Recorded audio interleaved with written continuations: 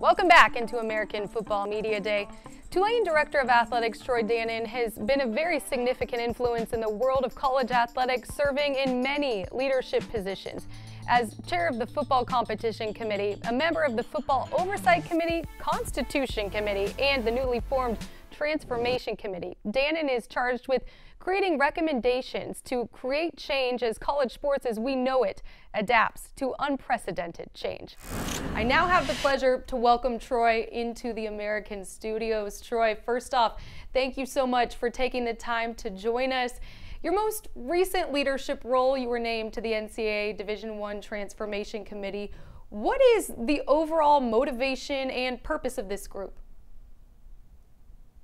Well, I think it really began uh, after the Alston decision last summer in the Supreme Court, which which took some of the legal precedent for how the NCAA operated off the table and and and uh, identified a lot of areas where we were in violation of antitrust law. And so uh, it led to the formation of the Constitution Committee, which all three divisions together uh, uh, basically restructured and reorganized the fundamental philosophies of the NCAA you know, there wasn't a lot of consternation with it because most everything was, as I said, philosophical in nature. And and uh, I think the most significant part of the Constitution Committee was charging each division with with then reorganizing itself uh, to make sure one we were in compliance with with the antitrust laws as as was defined where we out of compliance by the Supreme Court, but also to try to set a, a governance and organizational structure that would carry the NCAA forward for the next umpteen years. You know, this is the, really the first time in, in the last 30 to 35 years that such a task has been undertaken. So, uh, really, it has uh, a legal decision in its in its background, but it's long overdue. In a year where college athletics has experienced major changes, you mentioned the Alston case ruling and uh, name, image, and likeness, the transfer portal. What is your evaluation of the current state of college athletics right now? Well, honestly, I think we spent maybe the better part of 30 years, you know, piling things into the corner, and and ultimately, uh, I, I think, you know, personally, I don't know that we were responsive enough or proactive enough, and and that's that's all of our collective faults. And all of a sudden, that pile of things got so high that all of a sudden it's come tumbling down. And so there are a lot of things that I think in in um, best practice you would have seen things addressed over time, uh, whereas maybe we didn't, and now we have a whole lot of things facing us at, at one time.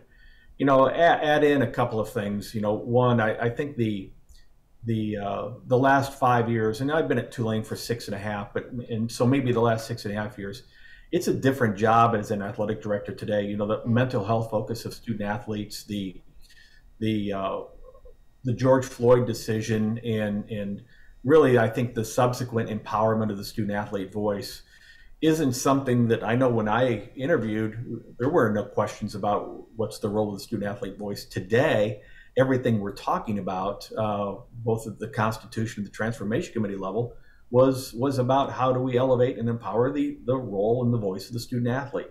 So it is a is a totally different world in which we're living today, a world that's changing pretty quickly, and in a world where you know, uh, you know I think all things come down to money and. And now we're at a place where we see coaches making $10 million a year. We see athletic departments, you know, uh, routinely over $100 million a year in, in total spend. And, and you know as, as the money increased um, and, and maybe didn't find its way to to increasing the what we could do for the student athlete experience i think all those things kind of came to a head uh, revealed in the supreme court decision and, and now we're scrambling of all of the, the conversations and topics that have been addressed in the last year with the transformation committee where have you all made the most progress well, depending upon who you ask, we've made no progress. Uh, you know, uh, uh, I think the important thing with the transformation committee was uh, you know, we maybe worked backwards, and, and that was starting with the things that were were legal liabilities in our in our rules. You know, we have a 400 page rule book, and if you go back to the, the the really the formation of the NCAA, it was it was brought on, it was created for three main reasons. One uh, health and safety uh, for the student athletes, two playing rules, and three championships. But the rule book we have is not as big as it is because of those three areas. The rule book is 400 pages because we also try to regulate cost containment measures at the NCAA. We've we, meaning the schools, have asked the NCAA to do that. We we also regulate um, areas of, of maybe competitive equity that that frankly cannot and should not be regulated. As much as you know you want a homogeneity we are not a homogeneous uh, group of institutions but whether geographically or or fundamentally in our in our student composition size investment uh, however you want to say it. So so we've really spent i think the last uh, or the first six months of the transformation committee work uh, looking at how do we deregulate or re-regulate or or uh, uh, really assess what we do uh, and make sure that the things we do are one core to the purpose of, of the organization, core to the need of the institutions, but also are, are, are legally grounded and, and founded. And, and we don't need to be in court every day. And the NCAA has spent uh, much of the last few years in court.